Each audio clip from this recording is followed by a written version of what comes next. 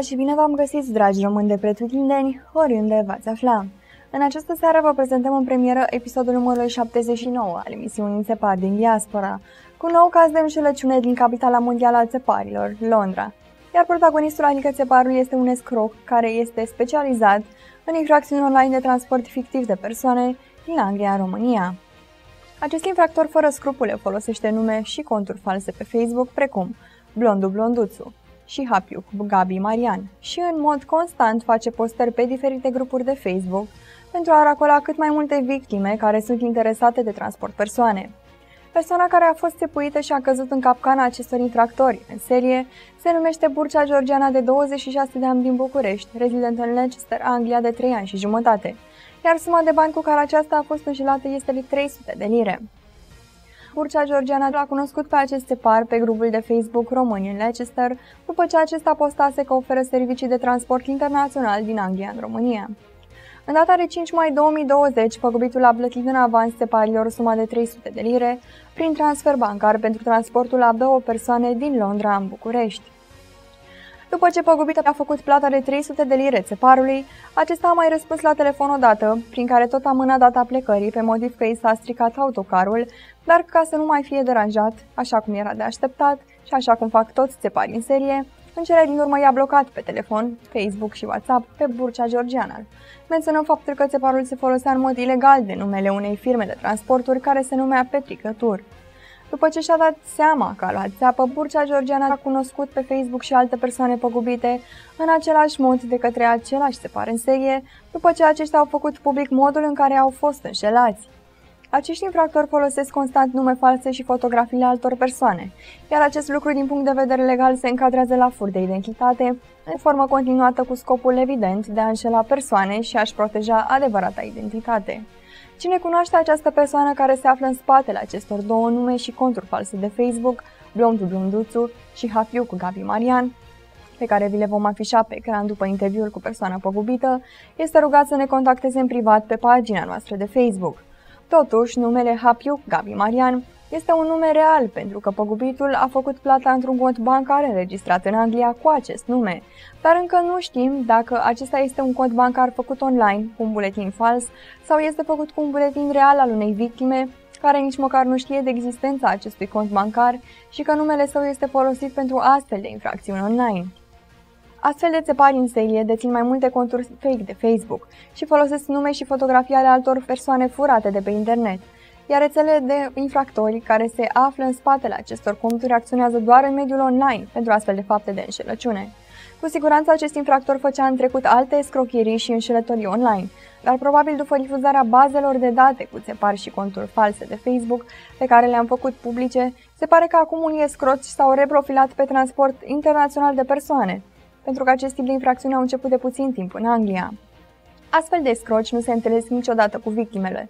Nu încasează niciodată banii cash, nu folosesc conturi reale de Facebook pentru a nu fi depistați de către autoritățile britanice, care oricum nu îi caută și nu îi împiedică în activitățile infracționale pe care acești separi în serie le fac în mod constant, fără a fi trași la răspundere din punct de vedere legal. Londra a devenit în ultimii ani capitala mondială a țeparilor, iar Anglia a fost și încă este țara preferată de infractori pentru astfel de fraude online, pentru că nu sunt deranjați de nimeni și nimic. Chiar dacă li se fac plângeri la poliție, la bancă sau la alte autorități, aproape de fiecare dată nu se întâmplă nimic concret și țeparii nu sunt trași la răspundere și nimeni nu îi caută. Așadar, din cauza legilor permisive a slăbiciunilor juridice în diferenței instituțiilor statului britanic, atunci când este vorba de infracțiuni de acest gen, în Anglia s-a creat o adevărată industrie infracțională și nu doar la nivel de permise auto și asigurări auto, ci și în alte domenii de activitate, în special cele care au legătură cu mediul online. Tocmai din acest motiv, Diaspora Online TV a inițiat în septembrie 2019 acest proiect util pentru comunitatea de români și moldoveni din diaspora, pentru că dacă marea majoritatea țeparilor nu plătesc pentru faptele lor de înșelăciune și nu li se întâmplă absolut nimic din punct de vedere legal, am considerat că este esențial ca prin intermediul acestui proiect să-i putem face cunoscuți pe țepare în întreaga lume, astfel încât să putem diminua numărul persoanelor păgubite în viitor. Aceiași infractori operează pe Facebook de ani de zile nestingheriți de nimeni, fără a întâmpina obstacole din partea autorităților din UK sau din România, fără a avea restricții și penalizări din partea administratorilor și moderatorilor anumitor grupuri de Facebook. și fără ca presa scrisă sau presa online să se implice în vreun fel sau altul, pentru a ajuta concetățenii noștri care sunt înșelați în mod constant de foarte mult timp. Cu această ocazie, dorim să informăm țeparii că periodic vom actualiza baza noastră de date, cu toate conturile de Facebook și numerele de telefon pe care aceștia le folosesc în mediul online și le vom monitoriza constant activitățile infracționale, indiferent de strategiile și metodele pe care aceștia le acționează sau vor acționa în viitor. Strategia și modul de operare a acestor infractori în serie fără scrupule, care dau țepe la mii de români și moldoveni în fiecare an, este aproape identic. În ceea ce privește modalitatea de plată, acești scroci folosesc diferite conturi bancare înregistrate în Anglia, uneori cu nume false, alteori cu nume reale sau pe numele unor interpuși și complici, atunci când încasează banii pentru astfel de infracțiuni.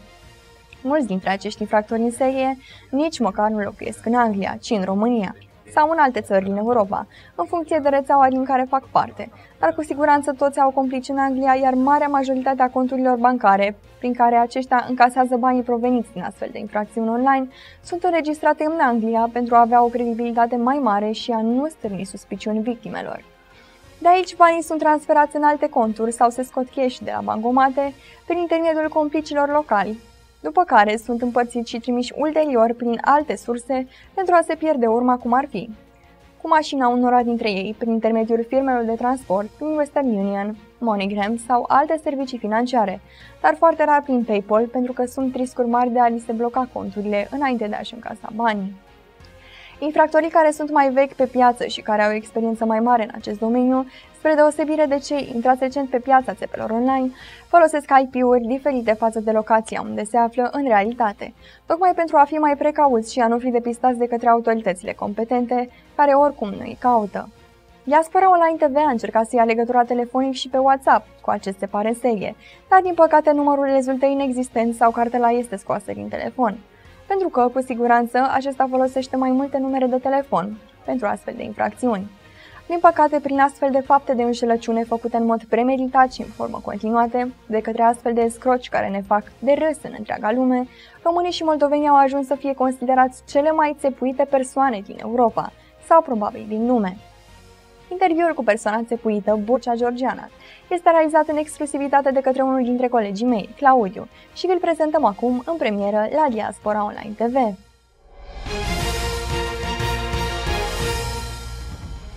Spunem te rog, câte ceva despre tine. Cum te numești, unde ești rezidentă și de cât timp și ce meserie ai? Uh, mă numesc Georgiana Burcea, sunt uh, rezidentă în Marea Britanie de 3 ani și jumătate, uh, mai exact în orașul Leicester, lucrez în uh, pro- producția mâncării, și anume uh, într-o fabrică de sandvișuri, ca și team leader. Am 26 de ani. Și de unde ești din România? Uh, din România sunt din București, mai exact sectorul 5. Care este suma de bani cu care ai fost înșelată, pentru ce anume ai plătit acești bani și cum se numește persoana și firma care te-a țepuit? Um, am uh, fost țepuită cu suma de 300 de lire uh, în vederea efectuării unui transport uh, de persoane. Mai exact, uh, aveam nevoie să plecăm urgent din uh, Marea Britanie spre România și ne-am gândit că cea mai uh, sigură variantă ar fi să călătorim cu microbuzul, uh, având în vedere că uh,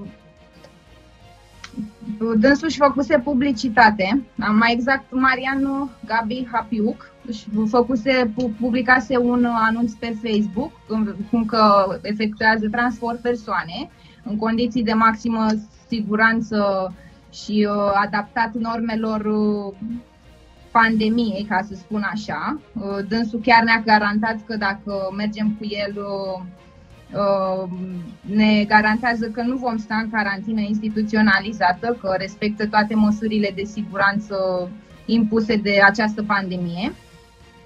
Uh, am făcut transferul bancar de 300 de lire. Transferul l-am făcut, da, prin bancă. Uh, mi s-a spus că dacă nu um, fac plata integral, um, el nu-mi garantează locurile și nu mi le va ține. Um, Șmecheria era în felul următor. Noi am sunat mai exact luni seară, prima dată am luat uh, contactul dânsul și la, la primul, primul apel ne-a spus că are trei locuri libere și că cine va confirma prima dată plata acelei persoane se vor menține locurile. Um, noi ne-am gândit luni seară să, că aveam varianta să mergem și cu mașina și am zis uh, să ne mai gândim. M-am gândit că aveam de rezolvat o problemă importantă și încercam să găsesc și alte soluții să o rezolv oarecum, să nu mergem până aici, să venim până în România. Dar din nefericire nu s-a putut și marți dimineață l-am sunat din nou. Și uh, tot aceeași placă mi-a spus-o, că are trei locuri libere și că a sunat cineva să ocupe două dintre ele, că revine cu un telefon în 10 minute să sune pe persoanele respective să vadă dacă mai sunt sau nu interesate de, uh, de transport, să ocupe locurile. Uh, a revenit după 10 minute cu telefon și mi-au spus că să-i fac, dacă doresc să-i fac transferul, că cele două persoane cu care a vorbit dânsul uh, nu mai răspund la telefon. Eu, în disperarea de a prinde locurile, nu m-am gândit că este o țeapă și am făcut transferul. I-am trimis uh, uh, dovada pe WhatsApp uh, și uh, înainte să-i fac transferul, i-am, el mi-a spus că o să-mi trimită biletele după ce îi fac transferul. I-am făcut transferul și l-am sunat înapoi. Zic, v-am făcut transferul să îmi puteți trimite biletele. Și a spus că mi le trimite după amiază, că dânsul e pe drum, că n-a ajuns la birou. Am așteptat după amiaza până la ora 6, n-am primit nimic, l-am sunat în timpul ăsta de vreo două ori. Uh, la ora 6 i-am trimis mesaj, nu l-am mai sunat și l-am rugat frumos dacă binevoiește să-mi trimită și mie biletele să am și o siguranță. Și mi-a, m-a sunat dânsul, nu mi-a scris mesaj, m-a sunat și mi-a spus să stau liniștită, să nu intru în panică, că el încă îmi răspunde la telefon și că uh, biletele încă nu are cum să mi le trimită, că n-a ajuns la, uh, la birou că să stau liniștită că oricum vineri dimineață era programat uh, transportul și că stau liniștită până vineri dimineață că mergem. Am uh, ținut legătura cu dânsul inclusiv joi seara am vorbit și ne-a spus că vine vineri la ora 1 și ne ia. Uh, vineri dimineață la ora 8 jumate când m-am trezit am primit mesaj de la numărul cu care, prin care am comunicat cu el și mi s-a spus că Mesajul spunea că s-a stricat autocarul și va fi reprogramată uh, pe a doua zi cursa. Am încercat din nou să contactez, să sun la numărul respectiv și nu mi-a mai răspuns nimeni, intra mesageria vocală și de aici m-am convins că este o țeapă. Cum l-ai cunoscut pe țeparul Hapiu Gabi Marian și cum a reușit să te convingă să-i plătești în avans banii pentru transport? Uh, l-am cunoscut uh, Uh, prin intermediul unui grup pe Facebook, și anume Românii în Leicester. Dânsul avea un anunț bine făcut acolo. Am luat numărul de acolo și așa am luat uh, legătura cu dânsul. Ai făcut plângere la poliție că ai fost înșelată? Uh, nu am făcut plângere momentan, cum am spus, uh, chiar aveam o urgență, trebuia să ajung urgent în România și uh, în momentul de față sunt în România, dar uh, cum mă voi întoarce în Anglia, voi căuta ajutor uh, pe toate căile legale, inclusiv uh, voi plăti și un avocat care ar putea să mă susțină. Ce recomanzi românilor din Anglia și nu numai în legătură cu plata în avans pentru transport de persoane și colete ca să nu fie înșelați precum ai fost tu? Uh, le recomand tuturor uh, să fie foarte precauți când uh, apelează la astfel de servicii, să se informeze foarte bine, să întrebe foarte bine ce firmă, eventual să dea un, un telefon la sediu firmei respective și să nu facă plata în avans ca și mine. Doresc să-i transmiți un mesaj separului Hapiu Gabi Marian sau celui care se află în spatele acestui nume? Da, doresc să, să-i transmit prin prin calea aceasta că există un Dumnezeu sus și eu pot spune că am fost un caz fericit că cei 300 de lire pe care dânsul m-a țepuit cu ei nu erau ultimii mei bani, dar uh, sunt foarte mulți români în perioada asta în, în într-o uh, situație financiară precară și să se gândească că ar fi putut să, că poate i-a lăsat pe unii pe drum fără fără niciun ajutor și fără ultimilor bănuți munciți. îi doresc din toată inima, nu pentru mine, dar în numele tuturor care au luat apă din ei, să-și cumpere uh, tămâie și lumânări de, de banii ăștia și să se ducă la pușcărie și am să am grijă să caut ajutorul pe toate căile posibile și am să dau de el. Să-mi fac dreptate. Ce părere ai despre țeparii români și moldoveni din diaspora care înșeală oamenii cinstiți? Uh, am o părere foarte proastă uh, și îmi pare foarte rău că oarecum ne reprezintă ca, ca societate și uh, nu toată lumea este la fel. Există și români muncitori și români care își văd de treaba lor, dar din nefericire, datorită acestor oameni fără scrupule, suntem catalogați și interpretați greșit uh, în, uh, în Europa, peste tot, că uh, din nefericire știți cum e, ne remarcăm doar prin lucrurile proaste. Și dacă a dat străinul de unul care face rău și e român sau orice nație, sunt toți băgați în aceeași oală. Am o părere foarte, foarte proastă și mi-aș dori din tot sufletul să, să, să existe o modalitate încât să îi împuțineze, să scăpăm de ei, să putem să ne uh, remarcăm și prin uh, lucruri bune, nu doar prin lucruri rele. Unde este locul lor? Locul lor ar fi la pușcărie, să nu mai iasă de acolo. Doresc să le transmiți un mesaj separilor români și moldoveni din diaspora?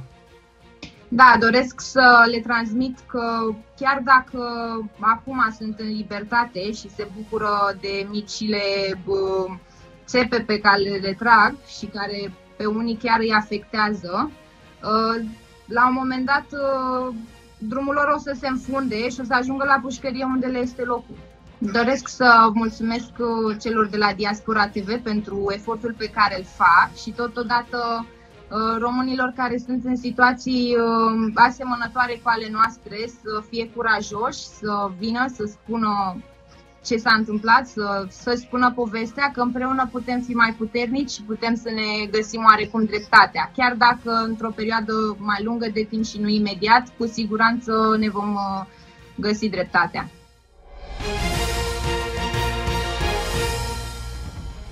Acestea sunt cele două conturi false de Facebook pe care acest separe în serie le folosește în mediul online.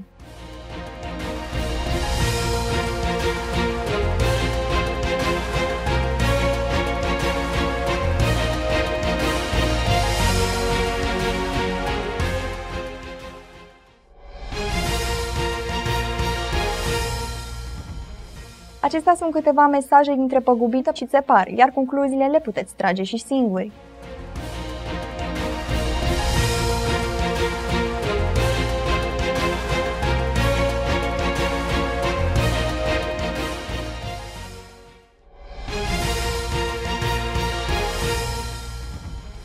Acestea sunt câteva postări pe care țeparul le face în mod constant în grupurile de Facebook din Anglia pentru a racola cât mai multe victime.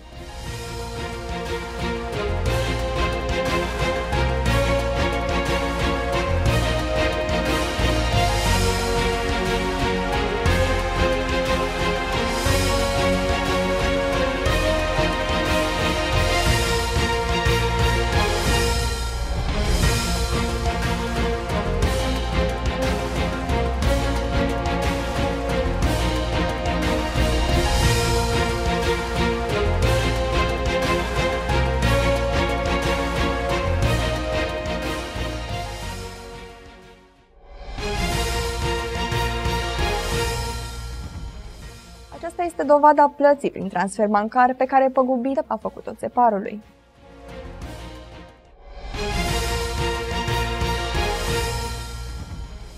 Acesta a fost episodul numărul 79 al emisiunii Țepar din Diaspora, unde personajul negativ, adică țeparul, este un nescroc care este specializat în infracțiuni online, de transport fictiv, de persoane din Anglia în România, care folosește nume și conturi false de Facebook precum Blondu Blonduțu și Hapiuc Gabi Marian.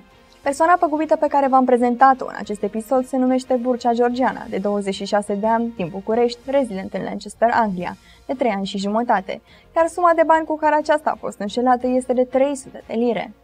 Dacă ați fost înșelați de către astfel de scroci fără scrupule care folosesc identități false și dacă doriți să investigăm gratuit cazurile dumneavoastră și să le mediatizăm în întreaga lume, vă rugăm să ne contactați pentru că doar împreună putem să oprim acești separi de la mai înșela românii și moldovenii din diaspora.